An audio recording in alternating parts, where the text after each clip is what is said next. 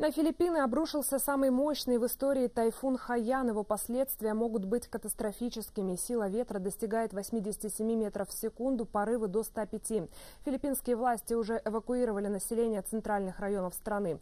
По словам экспертов, высокая скорость движения урагана может сыграть на руку. Тайфун не принесет продолжительных ливней и наводнений, от которых чаще всего гибнут люди.